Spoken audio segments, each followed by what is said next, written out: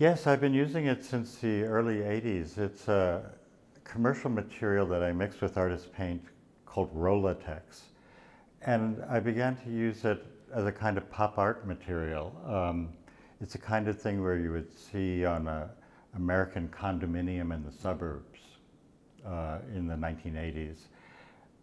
But I, I continue to use it because I really like the way it gives the paintings a kind of textural, makes it a little bit challenging.